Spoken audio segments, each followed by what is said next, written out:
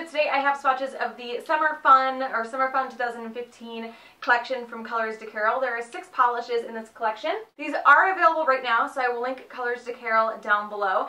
These are, I mean, down here I have the um, Beach Boys Summer Collection from Colores de Carol. These were more of the sheer, at least some of the lighter colors are more of the sheer neons where you do need a white base for them. Um, they took a little bit to layer, so like the yellow and the green stuff did. Um, Colores de Carol has actually come out with new neons, and these are more on the pastel neon side. They have a little bit more white to them. They're a little bit creamier. So they do have a very different effect. Like I said, they're a little bit more like almost like a bleached neon. They are way brighter than what I would consider a bleached neon, but they're kind of bordering on that. Again, I will link Colores de Carol down below because these are available right now, and I will get into the swatches. So the first polish is called SPF 15, and this is kind of a yellowy orange cream. So here's one coat. This one is a bit streaky and uneven on the first coat. The formula feels smooth. It's pretty easy to apply, but I feel like it's thickening up like as I polish seem to be getting some strings off the end of my nail. So there is one coat. So here's two coats. So this one is not completely opaque on two coats. It still has a good amount of streaking and unevenness, so it is going to need a third at least. It applies a little bit uneven to the point where there's some ridges, um, like some spots are taller than others. So you might need a good top coat to even those out because this needs to dry really fast and it's a little bit hard to get even before it dries. So there is two coats. So here is three coats. This one is still a bit uneven and streaky on three coats. I definitely think this is one that would benefit from a white base. I don't generally like to do more than three coats of a polish for a video just because it gets really long and boring, but yeah, I definitely think this one should go over white. So there is three coats of SPF 15.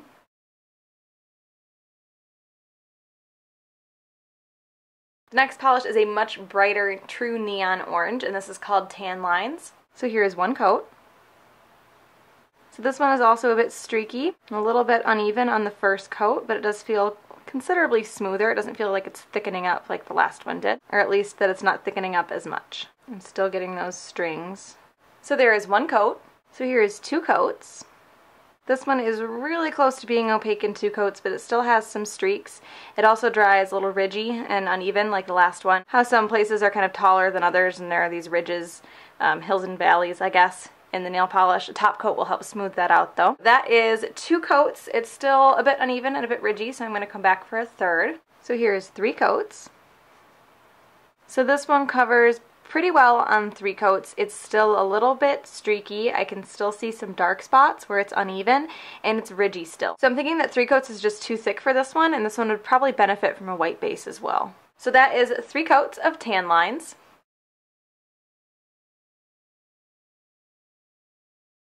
The next polish is kind of a neon pastel. It's definitely more on the neon side, but it does have a little bit of white in it, green. And this is called Kiwi Popsicle. So here's one coat.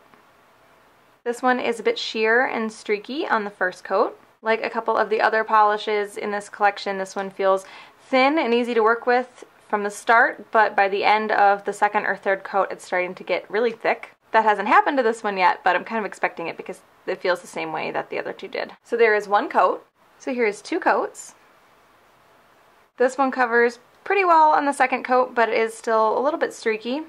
And I do have some dark spots where it's uneven. The formula is also starting to thicken up on me a bit. So there is two coats. So here's three coats.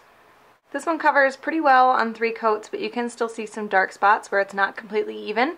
So I think this is another one that would probably benefit from a white base. The formula on this one did thicken up, after three coats, but it didn't get as thick as the two oranges did. So there is three coats of Kiwi Popsicle.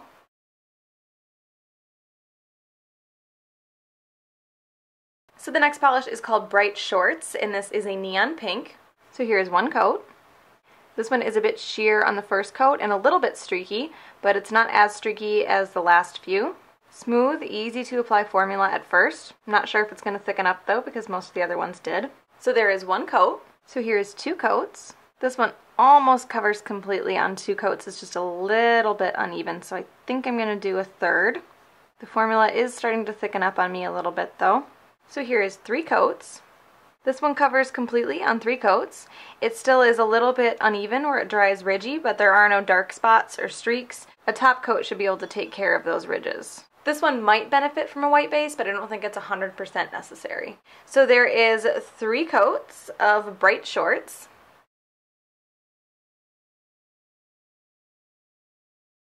The next polish is called Flip My Flops, and this is a lighter kind of creamy pinky purple. It's almost on like the neon pastel side. So here's one coat.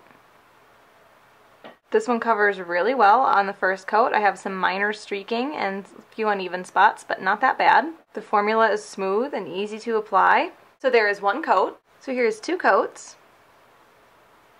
This one covers completely in two.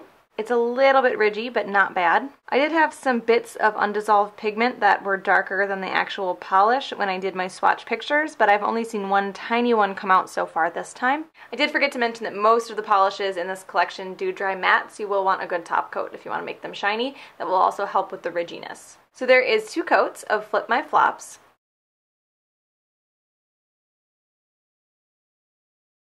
And the last polish is a medium sky blue cream, and this is called Watching Clouds.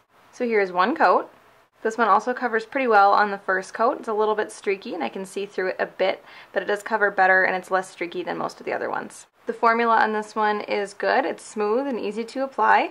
Flip My Flops, I forgot to mention, it did thicken up a little bit as it went on, but not much. I'm hoping this one's the same. So there is one coat. So here is two coats.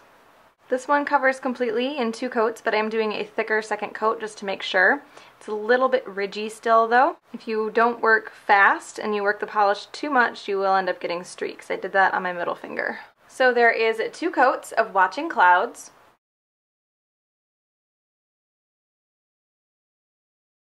My favorite in this collection is Kiwi Popsicle. Um, I really, really like pastel neons, bleached neons, whatever you want to call them, but I tend to really, really gravitate towards green pastel neons and bleach neons, and this one is by far my favorite because it is a green, because it's a light, bright green without being like a neon neon green. True neon greens I tend to not gravitate towards as much, but I really, really like when they have a little bit more of a pastel element to them. So Kiwi Popsicle is definitely my favorite. So again, I will link Colores de Carol down below because these are available right now. I hope you guys enjoyed this one, and I will talk to you later. Bye.